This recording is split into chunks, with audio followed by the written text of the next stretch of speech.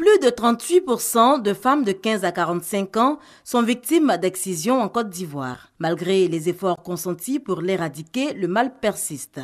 Et nombreuses sont les jeunes filles qui redoutent encore cette pratique ancestrale. Sur les affiches, on montre des filles qui pleurent avec des larmes où il y a le sang qui coule. Vraiment, je ressens de la douleur quand je vois ça. Je ne sais pas pourquoi ces femmes-là font ça, mais j'aimerais bien le savoir. Le nord de la Côte d'Ivoire est la zone la plus touchée par le phénomène des mutilations génitales féminines avec un taux supérieur de 70%.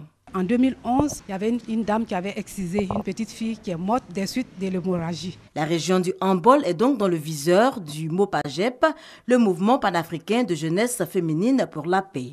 Avant d'affronter les zones de résistance, un atelier de renforcement des capacités des agents de développement. Force de l'ordre, enseignants, euh, leaders communautaires, ONG. Nous avons ciblé cette catégorie parce que ce sont d'abord des agents de développement et ils sont censés nous aider à relayer l'information sur le terrain les enseignants, par exemple, sont des vecteurs de l'éducation. Le mot PAGEP axe son combat sur la sensibilisation et la promotion de la jante féminine.